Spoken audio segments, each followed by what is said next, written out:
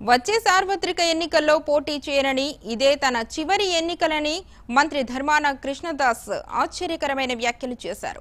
శ్రీకాకుళం జిల్లా రణస్థలంలో జరిగిన సమావేశంలో జగన్మోహన్ రెడ్డికి అండగా ఉంటాను తప్ప ఎన్నికల్లో పోటీ చేయనని ధర్మాన స్పష్టం చేశారు. మంత్రిగా బాధ్యతలు చేపట్టిన కొద్ది రోజులకే ఇలాంటి వ్యాఖ్యలు చేయడం సంచలనంగా మారాయి.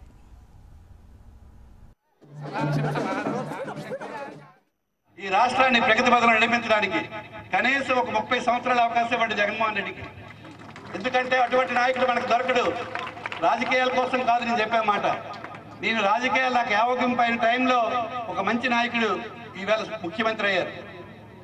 నేనైతే ఇదే ఎలక్షన్ ఆఖరు మన ఎలక్షన్లో మరి పోటీ చేయను మీలాగా నేను కూడా ఉండి అన్నిట్లో మీకు సహాయపడతాను కానీ రాజకీయాల్లో కొనసాగను.